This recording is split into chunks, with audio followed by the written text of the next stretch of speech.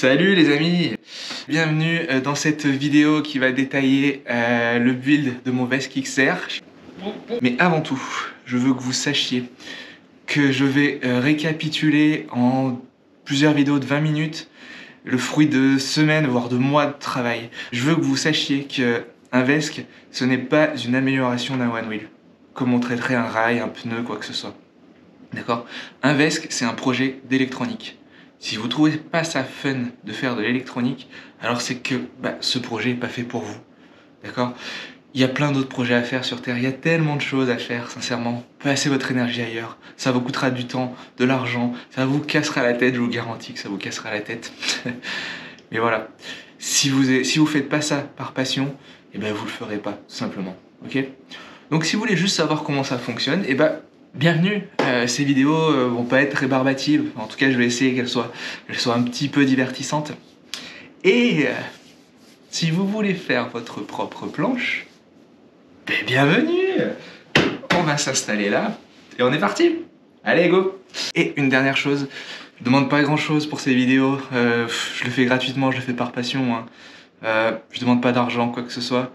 Mais bon, si vous pouvez vous abonner, bof, ça me soutiendra, ça me fera plaisir, ça me motivera à continuer. Le bouton, euh, il, est, euh, il est là, là. Non, là, là, Abonne-toi. Alors, déjà ici, euh, on a la représentation d'un one wheel. Hein. On voit le moteur au milieu, on voit le boîtier de connecteur à droite hein, en pointillé gris. à l'intérieur, on a le VESC, on a le port de charge, le bouton power, on a les LED à l'avant.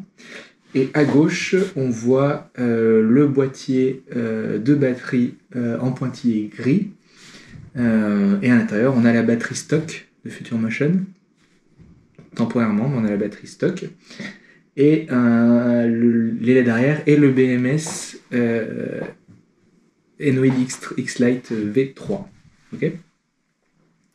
On a aussi euh, le connecteur euh, Molex de la série MX150L en version C-Spin. Donc c'est le, connecteur qu'on a tous sur nos XR. Et alors là, elle n'est pas dessinée, mais on a une gaine entre les deux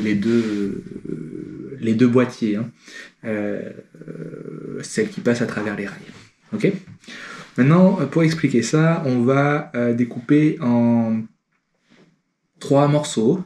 Euh, il y aura le premier morceau qui va être euh, le circuit d'alimentation, qui va relier la batterie au VESC. Le deuxième qui sera le circuit de charge, qui va relier le chargeur à la batterie.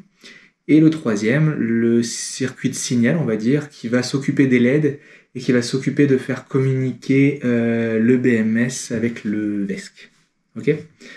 Donc, premier circuit, l'alimentation. Donc moi j'ai un Little Fokker euh, qui est déjà câblé en 12 AWG avec un connecteur XT60. J'ai connecté euh, euh, la broche du connecteur Molex du boîtier au VESC à l'intérieur du boîtier. Donc ce que j'ai fait, j'ai soudé quatre fils 18 AWG directement au connecteur XT60 hein, pour chaque polarité. Sur ces quatre fil côté euh, connecteur Molex. Ils sont, bah, euh, ils sont insérés dans le connecteur Molex euh, à travers, à des cosses. Je ferai probablement une vidéo sur comment utiliser ces cosses, sachant qu'il faut les sertir, il faut, avoir une pince spéciale pour ça. Légère technique et quelques infos à voir. Donc, euh, si ça vous intéresse, dites-le moi et, je ferai une vidéo. Et donc, ces quatre fils euh, sont reliés donc au connecteur Molex. Alors pourquoi quatre fils et pourquoi 18 AWG Alors là, à, travers ça, il y a toute la question du dimensionnement euh, de, ce schéma électrique.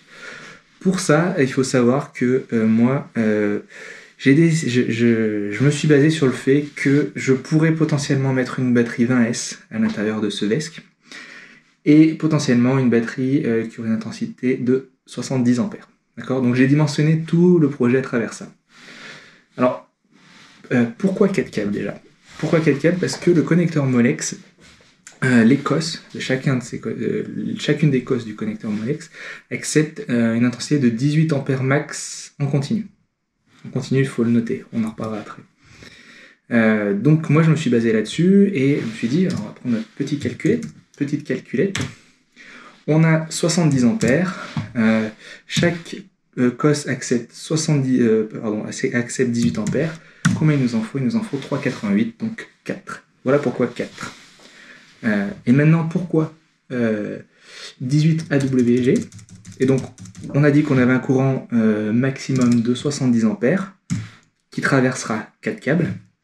Donc, ça nous donne une intensité max de 17 ampères et demi euh, par, euh, par petit fil 18 AWG. Ok? Alors du coup 18 AWG qu'est-ce que c'est hein? C'est en gros c'est American Wiring Jauge quelque chose comme ça. Donc c'est euh, le, le, format des, euh, des Américains. Donc il y a une équivalence en millimètres carrés. On peut connaître la section, la section c'est-à-dire la taille d'un d'un câble euh, en fonction du courant qu'il traverse et de la, de la longueur de ce, de ce câble. Donc la formule est légèrement compliquée. Euh, Je me suis fait un calculateur basé sur cette formule. Et donc il est là. Et donc on va voir, du coup, nous on a dit, alors, faut savoir déjà que la tension minimum euh, de notre euh, batterie, si elle est à plat, elle sera à 40,5 volts. Pourquoi je prends la tension minimale? Parce qu'il faut savoir que au plus la tension, euh, au plus une tension est élevée, au moins le câble va chauffer. Au moins, en gros, au moins le, le, le, le- le câble aura besoin d'être épais. D'ailleurs, c'est pour ça qu'on a des lignes à haute tension. Hein. Vaut mieux avoir une grosse tension plutôt qu'une grosse intensité. Euh, et donc nous, bah, c'est pour ça que je mets la plus basse tension parce que c'est là où le câble va, va le plus chauffer, quoi. D'accord? On aura une euh, tension, donc on a dit de, alors 60, on va prendre 70 ampères. 70 ampères, donc c'est sur, euh, sur, ça sera sur, euh, comment dire, sur un seul câble, 70 ampères. Ça donnera 3 mm carrés. Donc nous, on a dit qu'on avait 18 ampères par, euh, on a 17,5 ampères par euh,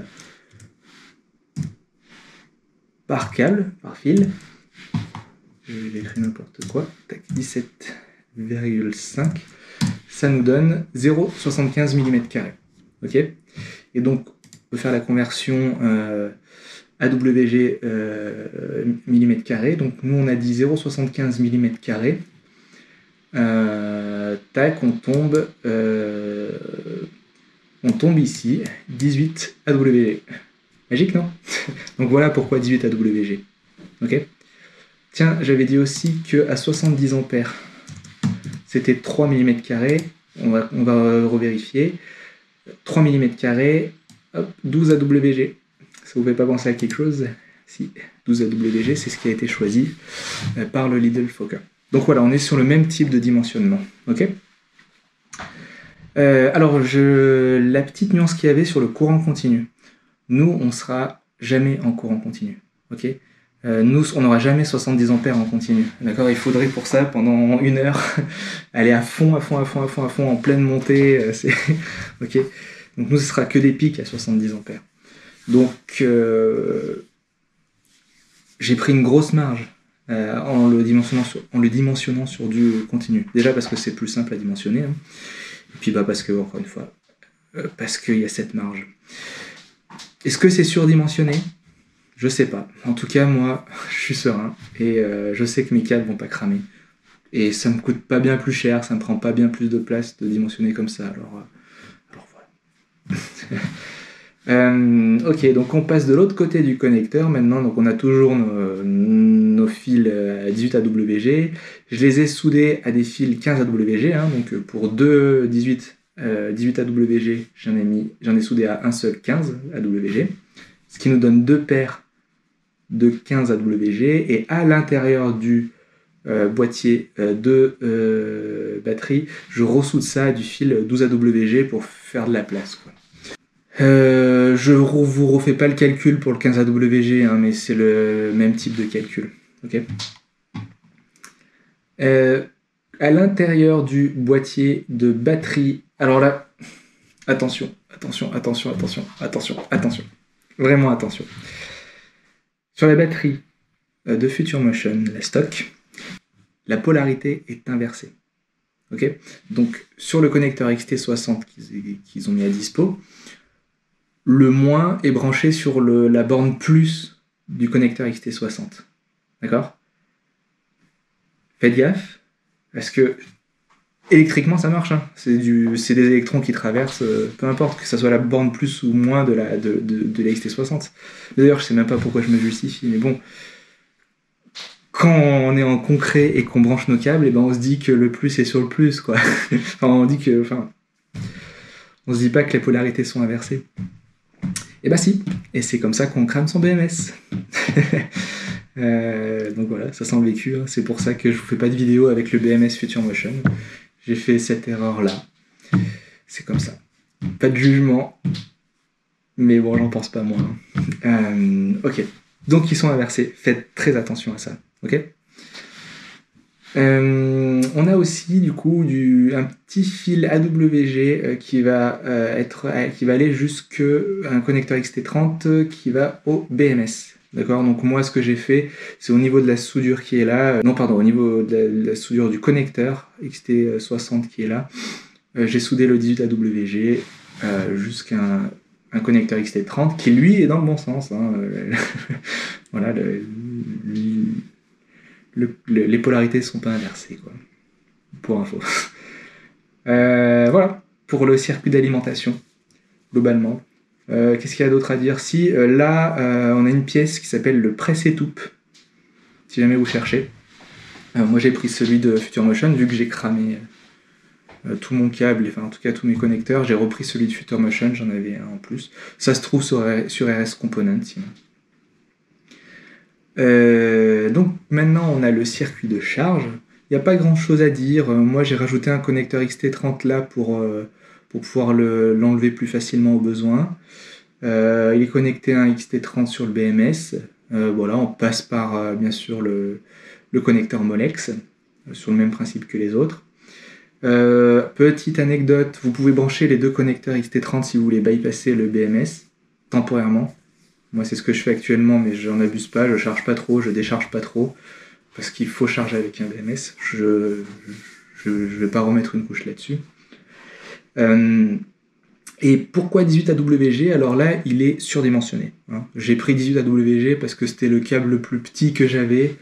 Euh, mais euh, clairement, si on charge par exemple en charge max à 5 ampères, en fast charge, je veux dire, à 5 ampères pour une tension, même pour une petite tension comme ça, il nous faut du 0,21 mm, soit ouais, 20, 23W. 21, 23W. Donc, on est euh, ultra large. On est ultra large à ce niveau-là. Euh, voilà, c'est tout. Vous pouvez mettre plus petit si vous voulez. D'ailleurs, euh, le kit de Custom Wheel, on voit bien sur le kit, on voit bien que les fils sont minuscules, hein, ils sont bien plus petits que 18 AWG. Ok, c'est tout pour le circuit de charge. Et maintenant, on a les petits circuits qui sont cool, dont un qui me plaît bien, c'est celui des LED. Euh, moi, je trouve ça très important de rouler avec des LED, déjà pour voir la nuit, parce que je roule la nuit aussi, mais surtout pour être vu, hein, pour être vu des bagnoles. Donc je vais, je vais recréer le même principe, hein, les LED blanches à l'avant, les LED rouges à l'arrière. Alors je vais pas me faire chier à inverser euh, le, rouge et le, le, rouge et le blanc. Hein. Elle fait ça à la board officielle. Bon, je vois pas trop l'intérêt. Par contre, il y a quelque chose que je veux faire, c'est que quand on freine, je voudrais que l'intensité de, des LED arrière euh, bah, s'intensifie, hein, comme des freins de, voiture. Et ça, je peux le faire. Je alors, je l'ai déjà fait avec un, petit Arduino là. Euh, et, donc euh, des bandelettes que j'ai achetées. Alors, j'allais dire, euh, c'est pas très compliqué. pour moi, c'est pas très compliqué. Je suis développeur dans ma vie professionnelle, donc c'est pas hyper. Enfin, je l'ai fait quoi. donc ça c'est cool, je, vais, je, vais, le faire. j'ai réussi avec Arduino, j'ai pas encore réussi avec le SP8266. Donc à voir si ça reste ce contrôleur là ou si je passe sur Arduino. un, un, petit un micro là, on verra. Euh, et il y a une autre fonctionnalité que j'aimerais bien faire. Euh, pour ça, j'ai besoin de me connecter euh, au, port UART du VESC. Ça serait en gros quand on descend de la planche, qui est encore allumée, on a 10 LED par bandeau. J'aurais bien aimé avoir une sorte de jauge de la, de, la capacité de la batterie restante. Par exemple, je sais pas, il nous reste 80% de batterie, on a 8 LED sur 10 qui s'allument. S'il en reste 20, ben, en a que 2 LED sur 10. Que ça serait pratique. Donc je, sais, je suis pas certain de pouvoir le faire, mais j'aimerais bien le faire. Donc voilà, ça je le ferai en fin de projet et euh, je ferai une vidéo pour ça, pas dans cette série quoi, en annexe. Voilà. Et il nous reste un seul circuit, euh, le circuit euh, qui va à travers le CAN, quoi, qui va permettre au BMS de dialoguer avec le VESC. Et en gros, l'utilité, ça sera d'accéder à l'état des cellules dans VESC Tool, dans l'application mobile et PC. Et voilà, on est bon pour la présentation générale. C'était une vidéo euh, qui était assez théorique, je le conçois, euh, mais je pense que si on n'a pas la patience de bien comprendre ce genre de schéma, on n'a pas la patience euh, bah, de faire le projet. Quoi. si vous avez des questions sur ce schéma, eh ben, n'hésitez pas à les poser en commentaire. Si je peux y répondre, je me ferai un grand plaisir d'y répondre. Si vous avez des critiques, eh ben, sachez qu'elles sont accueillies à bras ouverts, vraiment. Euh, en critiquant cette vidéo, vous, améliorez mon, ma connaissance, mais surtout la connaissance de l'ensemble de la communauté. Donc c'est fondamental qu'elle soit critiquée, cette vidéo. ok? Euh, la seule chose que je demande, c'est qu'elle soit fondée, la critique, et surtout qu'elle soit prouvée. ok voilà, euh, nous, on se retrouve la semaine prochaine pour la vidéo du montage. Ciao